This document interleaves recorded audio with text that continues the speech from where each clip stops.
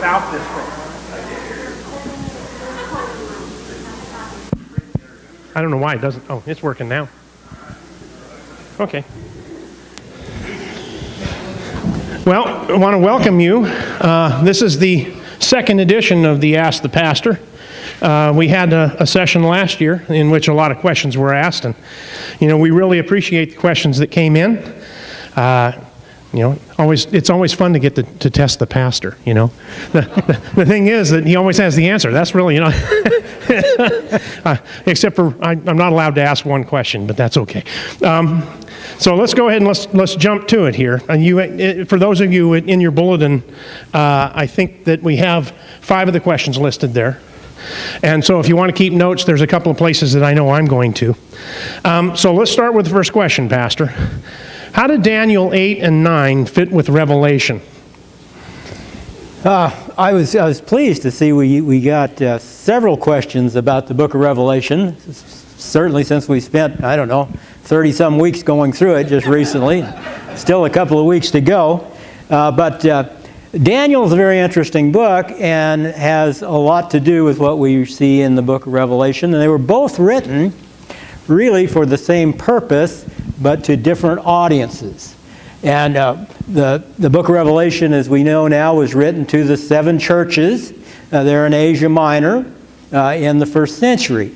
And the purpose of that was to prepare the Christians to steal their faith, so to speak, uh, S T E A L, their faith, uh, so that they would be strong enough to go through the persecutions and that, the tribulation, as uh, John calls it, in the future. And Daniel was written for the same purpose, but Daniel's audience was uh, Israel in exile in Babylon.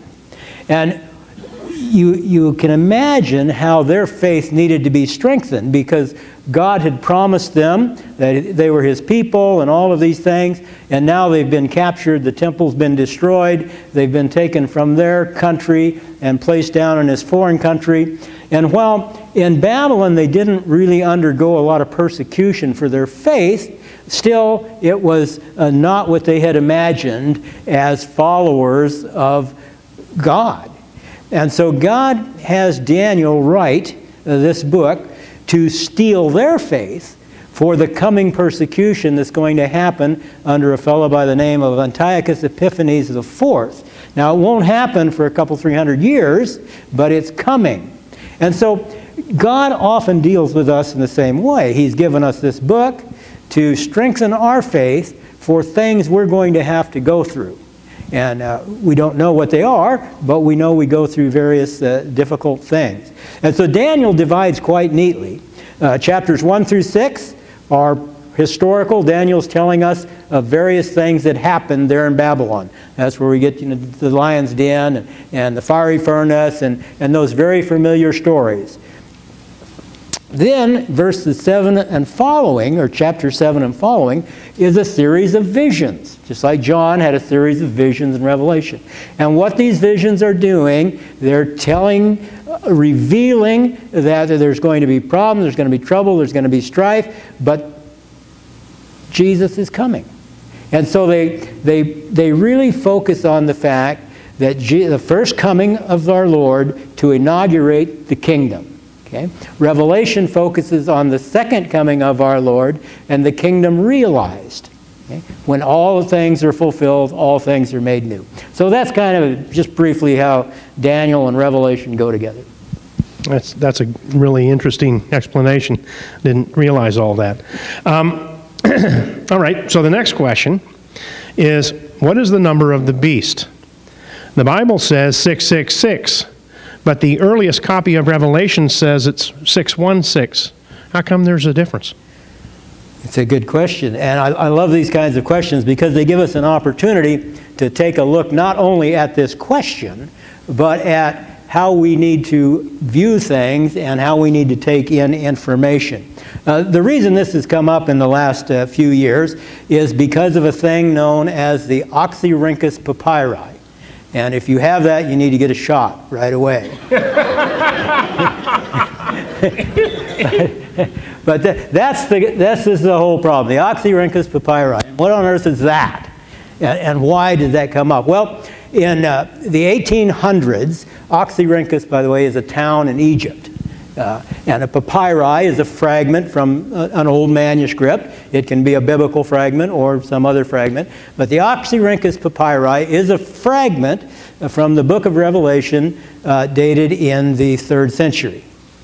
And in it, now it's only about this big. It was discovered in the 19th century, but no, they could not read it because it was just uh, too, too mutilated in that. But uh, now, in the 21st century, uh, we have come up with this wonderful thing called multispectral imaging. And I really don't know what that is, except it's a fancy camera, I suppose, of some kind. But anyway, it allows them in the last few years to read that. And indeed, it does say 661 instead of 666. So, of course, people launch right onto that, as uh, there are folks out there that just love to take any opportunity to uh, disparage the scriptures or point out that this is wrong or that is wrong or whatever. So when you read about this, you read that scholars, and you always want to beware when you're reading something that was written by scholars, because they usually don't tell you who the scholars are, and they don't tell you the scholar's background and where they're coming from. And in this case, yes, they are scholars in that they're learned men and women, but they're uh, most, mostly non-Christians and don't view the Bible at all as a book of God's writing. A couple of quotes from these, uh, these scholars. It doesn't make them bad folks. It just gives you an idea of where they're coming from. One of them said that the book of Revelation is thought to be written by John. Well, it's not thought to be written by John. It was written by John, you see. We know that. So that gives you a little clue. Uh, another clue is this. Uh, another scholar said this. the book of Revelation is a critique of the politics and society of the Roman Empire. Well, it touches on that, yes, because that's the, uh, the scene it was written in, uh, but that's not the point of the book of Revelation at all. So this is the background of these folks that are, are really jumping on this 616 bandwagon. Well, one of the things you'll remember in our study of Revelation uh, we pointed out that there's really nothing new in the book of Revelation. It's simply an extrapolation of other things we find in the Bible, going clear back into the Old Testament and coming on through. Well, guess what? There's nothing new about 616. In fact, this issue was uh, really debated hotly a hundred years before the Oxyrhynchus papyri was written. In the second century AD, this was a big issue because there were copies that said 616 rather than 666. So this issue had to be addressed, and it was quite thoroughly. And the man that led the charge was a familiar friend of yours by the name of Irenaeus. Mike loves these guys. He, he's in a class with me where we're yeah. going through all these old guys. He, he has a class. We're reading a book, and the thing is, I need him as an interpreter because it's so hard to read. It's written by a guy named Chadwick, and uh, most of the people that are in the class with me, it's the morning, uh, uh, the, the Thursday morning men's group. It's extremely difficult to read. It's the on the ancient history of the church, and we thought it would be something simple, you know. of course, I've actually learned that nothing in the Bible is simple, and particularly when somebody's trying to, to, to tell you and they're really smart, because a lot of times they just talk over your head. And uh, so I, I had to have an interpreter for that book. yeah. So, so the second century AD was a seminal century in the development of what we believe uh, today. Uh, was a time when there was a lot of false information going along, and God uh, gave us some really brilliant people to go through and sort this out. And one of the top, uh, probably the number one guy of that time, was Irenaeus. Now, Irenaeus, uh, one of the reasons they, they, they say this 616 manuscript is, uh, uh, holds some, some sway is because it's the oldest one that we have. Well, so they're using the argument that is a, an acceptable argument that the closer it is to the original, the more apt it is to be correct. Well, Irenaeus is 100 years closer than this. Irenaeus was a disciple of a guy by the name of Polycarp. Some of you know that name. Polycarp was a disciple of John. So Polycarp got his information direct from the Apostle John. Irenaeus got his direct from Polycarp. And so they addressed this issue, and let me share with you just a little bit about what Irenaeus wrote on this very issue 100 years before you came down with Oxyrhynchus. Hmm. He says this, as soon as I can find it here. He says, Such then being the state of the case, and this number 666 being found in the most approved and ancient copies of the Apocalypse, and those men who saw John face to face bearing their testimony to it. While reason also leads us to conclude that the number of the name of the beast, if reckoned according to the Greek mode of calculation by the value of the letters contained in it, will amount to 666. I do not know how it is that some have erred following the ordinary mode of speech and have vitiated the middle number in the name, deducting the amount of 50 from it, so that instead of six decades, they will have it that there is but one. I am inclined to think that this occurred through the fault of the copyist, as is wont to happen, since numbers also are expressed by letters, so that the Greek letter which expresses the number 60 was easily expanded into the letter iota of the Greek language. So there you have the great Oxyrhynchus debate. And there's really not much to it because if you go back uh, to the original sources, they dealt with this issue and put it to bed a long time ago. Wow. See, you know, and it's, it's interesting to know that the arguments that, that we're having now have been argued that far back.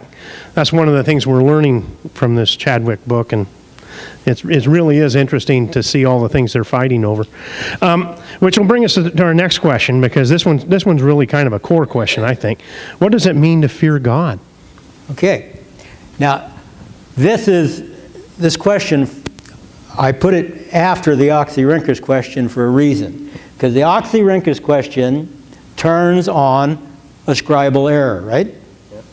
Just a, a change of one letter.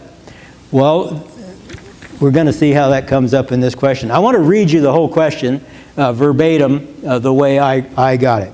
Here, here it is. It says, Many verses in the Bible reference that we are to fear and be afraid of the Lord. Psalm 27 1 is a good example. The Lord is my light and my salvation, whom I shall fear. The Lord is the strength of my life, of whom I shall be afraid. We are also taught the Lord is compassionate and loving. This appears to be an oxymoron. Did the meaning of the words fear and afraid have a different meaning 2,000 years ago? Okay, so just kind of hang on to what, what you heard there. Uh, we'll get back to it. But fear in the Bible uh, has the same meaning it had today, but it's used a couple of different ways. Uh, in one sense, when, when we see fear used in the Bible, it's referring to fear like a, a great awe, an a, a, a, great uh, fascination, um, something we're just overcome by the, the overpowering presence of this being. Okay? And then it has the, the other sense uh, of where you are afraid that something's going to happen to you, something bad's going to, to happen to you. Uh, Jesus in Matthew 10 three times told uh, the, the disciples, Fear not, or do not be afraid. Now, he's talking using fear in the terms of something bad's going to happen to you. And, and we see that there. But then in Proverbs 1 7, we see that the fear of the Lord is the beginning of wisdom.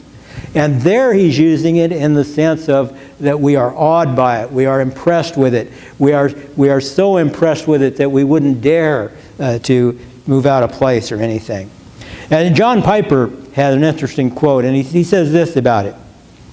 He says, The fear of the Lord means that you come reverently, humbly, without presumption, with awe and reverence. I think that's a good uh, definition of it. But then that begs the question uh, how do we tell the difference? How do we know which fear is talking about? And that brings us to that thing we call context. And we do it all the time in the English language. We, we determine what a word means by how it's used in context. So that's kind of how we can tell which fear we're talking about. And uh, Martin Luther came up with a, a, great remedy for this. If you know the, the history of Martin Luther at all, he, he would probably take the place as the man who was the most ever afraid of God. He was, he was just absolutely, and I mean fear in the bad sense.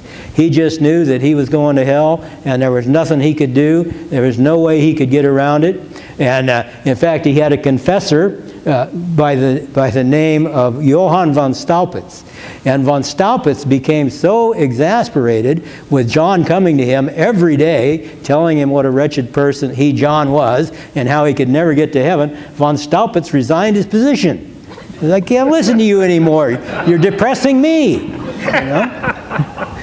well, of course, we know Luther, uh, through the study of the scriptures, determined that he was wrong, and God is a gracious and loving God. So he came up with two terms uh, for this fear, which I, I think are good ones, and he calls it servile fear and filial fear.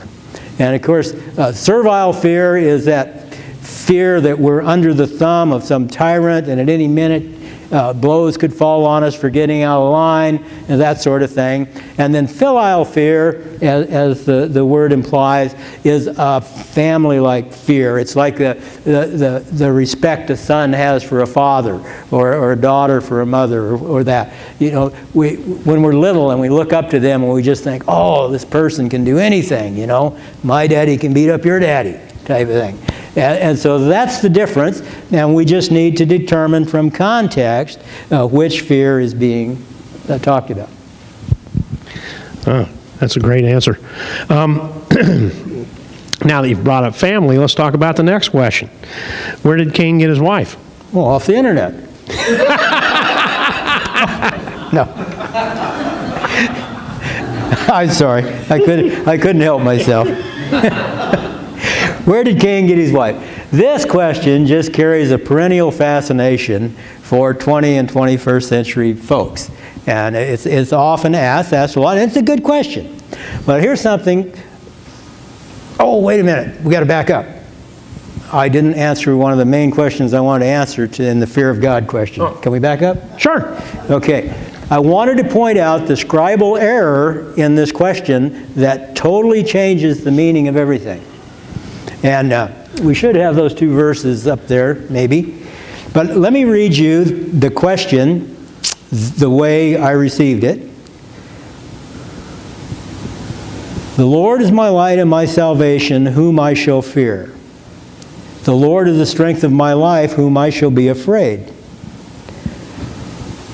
There's one letter that's out of place there that completely changes the meaning. Which letter is it?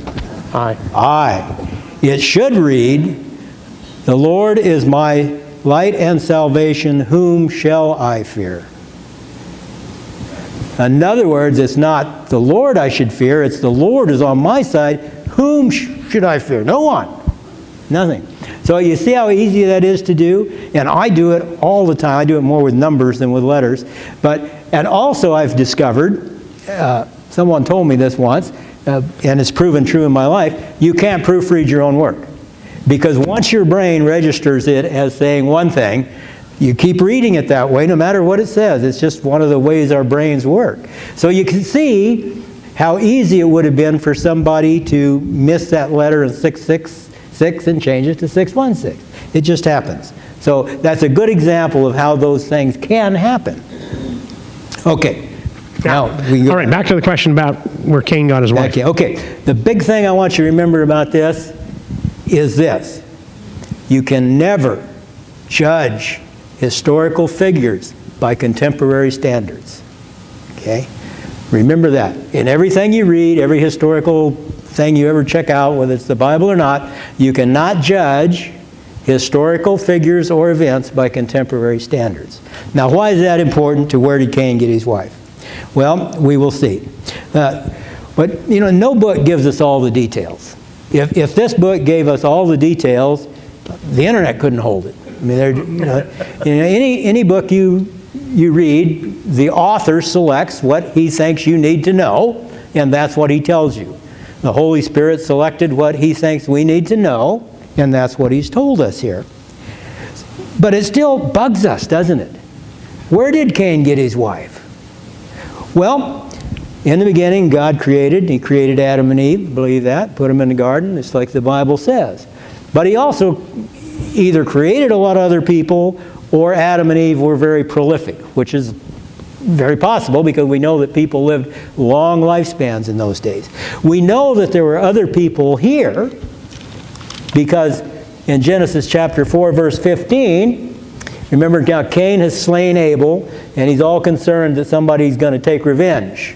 And so um, God says, Then the Lord said to him, Not so. If anyone kills Cain, vengeance shall be taken on him sevenfold. And the Lord put a mark on Cain, lest any who found him should attack him. So there has to be other people. We don't know who, but I'm going to, I like to assume that they are descendants of Adam and Eve. If people lived hundreds of years in those times, you can have a lot of children and children and grandchildren in that length of time. So at any rate, there is a population on the earth other than just Adam and Eve and Cain and Abel. There's also no biblical prohibition at this time against marrying your sister, your niece, whatever. Now, we are, it's so inculcated into us that that's not the thing to do, we just immediately think that's always been that way. But it's not so, and I'm not saying it is the thing to do because I believe it's still illegal, I don't know. But don't do that. but in those days, it was acceptable. In fact, as you read Scripture, Abraham married his half sister. Rebekah was Isaac's niece. Two of Jacob's wives were his cousins. It was just an accepted thing to do. So bottom line is, Cain's wife had to either be his sister or his niece. And again, don't judge that by what we set as moral standards. It's, it's the way it was. Okay. um, uh, you know, the next question is, is one, I, you've explained this to me before. That's one of the reasons I gave it to you here, because I wanted it on tape so that I could write down all the places you go. Uh, you, you know, you've told me I don't have free will, and I, you know, I never have been able to follow you all the way through. So, can you explain why people do not have free will? No. Oh, well, that's an answer. Okay. But I'll tell you, I can tell you, I can tell you a little bit about what Scripture says. Okay. And by the way, I have witnesses. Your wife stood in my office this morning and said, You don't have free will. She tells you what to do. yeah, I know. okay, we could do a whole sermon series on this question and, and be there for many, many weeks. Uh, so we're going to really, really cut it down because, as stated, the question is just too broad. We yeah. just can't do anything with it. So I want to first define free will. The essence of free will is to choose according to one's desires. Okay? We all make choices. We make those choices based on what we desire. So the question really isn't do we have free will? The question is why do we choose what we choose? Why do we make these choices? Now I want to narrow it though even more than that. And I want to narrow it down to there's two realms where we could talk about our will. There's the physical and there's the spiritual. Now, the physical, that's a whole other question, and, and I can tell you about that someday. We'll do a message on it and figure it out. But for here, for this morning, I want to hold it to spiritually. Do we have free will spiritually? And people are all over the map on that. You know, and so uh, let's just, let's look at it this way. We have pre-fall and post-fall, before the fall and after the fall. Before the fall, Adam and Eve had, I believe, now there are people that will argue with this, but I believe uh, they had spiritual free will. They could choose to sin or they could choose not to sin. They're the only two people on this planet that have ever had that choice. Because what happened? They made the wrong choice, didn't they? And they sinned, and from then on, we are born as sinners. sinners. Now, anybody that's ever had children knows that. You know? I mean, I, I, just get a kick out of people. These little babies, and they say, oh, they're so cute and so innocent. Baloney. What's the first thing they do? First thing they do is learn to manipulate us by crying and doing this and doing that. And, and let me ask you, parents, How many hours did you ever spend teaching your children to lie? None. It just came naturally, didn't it? You know, you didn't spend any time teaching them to steal. Now, I'm not saying they did, but you spent a lot of time hoping to prevent them from doing it by telling them. You see, we have a natural bent from the moment we're born to go the wrong way, to make the wrong choices. And, and so, uh, we're just born that way, and, and uh, that's the way it is. We call that original sin. Okay? So we're all born sinners, and therefore, uh, we just never make that right choice. Uh, we look at, at Genesis here, uh, chapter 2, verse 17. it says this uh, But the tree of the knowledge of good and evil you shall not eat, for in the day that you eat of it, you will surely die. Okay, that's what God told Adam and Eve when he put them in the garden, right? The day you eat of this tree, you shall surely die. But now, in chapter 3, verse 4, Satan enters the picture. But the serpent said to the woman, You will not surely die. God says you will die. Satan says you will not die. Who is right? God. Well, you don't have to say it that quietly. God. Yeah. He, he, yeah. Well, let me, let me then pose, pose another question. Did they die? Spiritually. Dead in their sins. They died spiritually, yes. They didn't die physically, they died spiritually. Okay, so we are spiritually dead. We're born spiritually dead. Every choice we make will be against God. We just don't vote for God in our spiritual condition. Now, thankfully, God intervenes. And in Ephesians uh, chapter 2, verse 1 and 5, uh, it's pretty emphatic. You were dead in the trespasses and sins in which you walked. Now, he doesn't say we were kind of dead, or we were a little dead, or we were mostly dead. We were dead. And then in verse 5, even when we were dead in our trespasses, he made us alive together with Christ. So we were dead, Christ makes us alive. Romans 3. Uh, in, the, in the last 20 or 30 years, we've heard a lot about seekers, seeker churches and seeker sensitive and all that sort of thing. Well, according to Scripture, there are no seekers. See? Romans 3 tells us there's none righteous, no, not one. There's none that seeks after God. So there are seekers in the sense that people are seeking solutions to their problems, but they aren't seeking after God of, left to their own devices.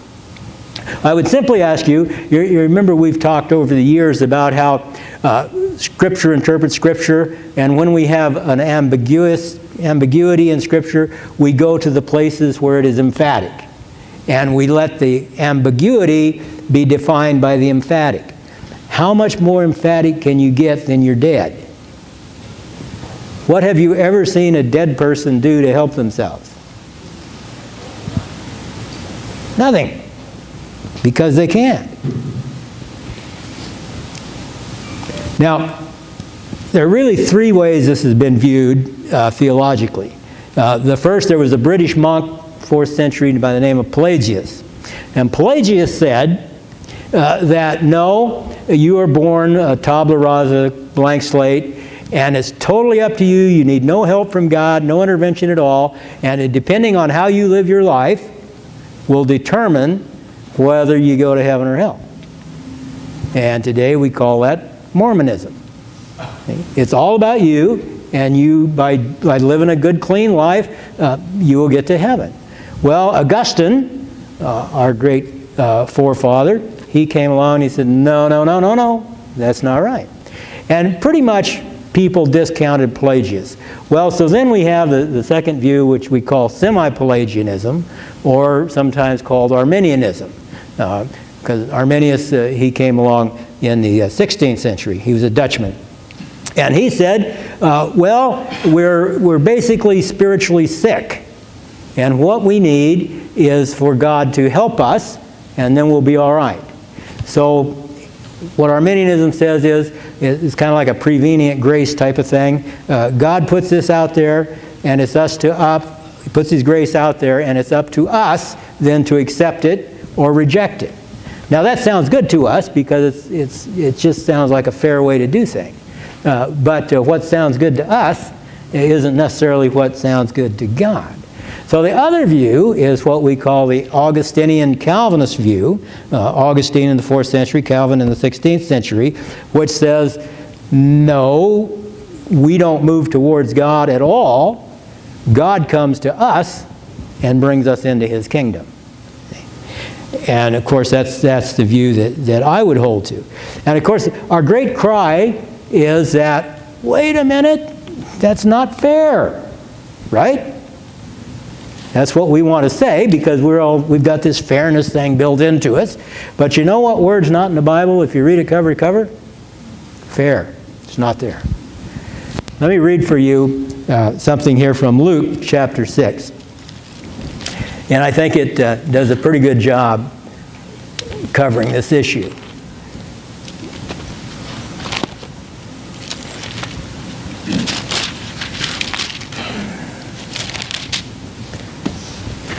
Chapter 6, and we're going to look here at verses uh, 25 through 30.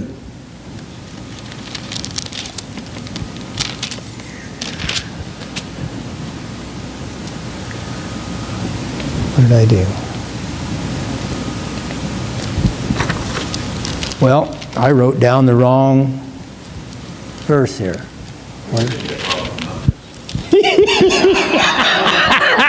yeah, yeah. All right, how about, how about chapter 4, verses 25 through 30? Now, this is dealing with a fairness issue, and this is Jesus talking.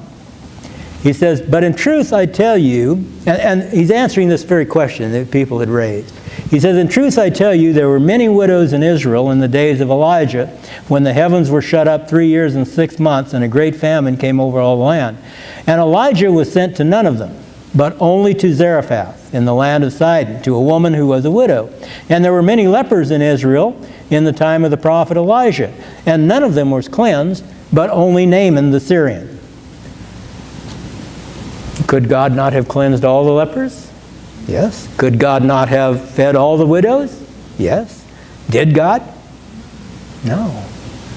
Unfair, we cry. it didn't go over very big then either. Let me read on. when they heard these things in the synagogue, they were filled with wrath. And they rose up and drove Jesus out of town and brought him to the brow of the hill on which their town was built so that they could throw him down the cliff. But passing through their midst, he went away. See, this has never been a popular thing with our human line of thinking. It just isn't. Uh, but it is what it is. And so, uh, in regard to salvation, we do not have free will. And that's why it says, you know, before he knew us, we were chosen? Mm-hmm. Oh, okay. I knew he. And, and that's not a real good explanation. I mean, it's a short time we have, so that could be another sermon series. Good. That was, that was one of the things that is to try to get there because I, I remembered you, you, you, actually went to Genesis and you said something that in, in regards to, are you? Oh, hey, there we go. All right, let's go to that one. We'll skip, we'll skip the next one and we'll go to number seven because that I think is going to answer the question I'm asking, isn't it? Uh, are those who die in infancy saved? Are those who die in infancy, do those who die in infancy go to heaven? Yeah. Now there's a, there's a question that is another perennial one. People always ask that question. Uh, and the answer is, the Bible doesn't say. But it does give us a clue. And the clue is found in the story of David and Bathsheba, where uh, as a consequence of their sin, uh, the baby uh, from that union dies. And if you're familiar with the story, uh, the baby has, has been sick, and all the time he's been sick, uh, David has been inconsolable. He's been letting his hair go, he's not bathed, he's, he's been weeping and mourning. And so the, his attendants get word that the baby has died. And so they get together in a huddle and they say, Who's going to tell him? Because remember, in those days, a lot of times the messenger lost his head if the message wasn't well received. And uh, they were uh, conversing amongst themselves who's going to tell him? Who's going to tell him? Well, he overhears them. And he figures out what's happening. Now, let me read this to you here. This is from 2 Samuel chapter 12. But when David saw that his servants were whispering together, David understood that the child was dead. And David said to his servants, Is the child dead? They said, He is dead. Then David arose from the earth and washed and anointed himself and changed his clothes, and he went into the house of the Lord and worshipped. He then went to his own house, and when he asked, they set food before him, and he ate. Then his servant said to him, What is this thing that you have done? You fasted and wept for the child while he was alive, but when the child died, you arose and ate food. He said, While the child was still alive, I fasted and wept, for I said, Who knows whether the Lord will be gracious to me that my child may live? But now he is dead. Why should I fast? Can I bring him back again? Now here it is. I shall go to him, but he will not return to me. Now, our great clue there is David knows that when he dies, he's going to be with the Lord. And if he's going to go to the child, the child must be with the Lord. So we can deduce from that that yes, those that die in infancy are the elect, and they do go to heaven to be with the Lord. And we will one day go to be with them. And I, I, wish Scripture told us more about that subject, but it does not. But we can take great solace in knowing what David said, and that, I believe, is the way it is. And we're going to run out of Yeah. time. That's, yeah, we're, we're at a point where we basically have to quit, but, you know, I don't know how many of you uh, uh, are interested in, in hearing more in regards to these. Um, I, I think they're, you know, but uh, if you do, just, just let us know, and uh, we can continue the series. All right, good.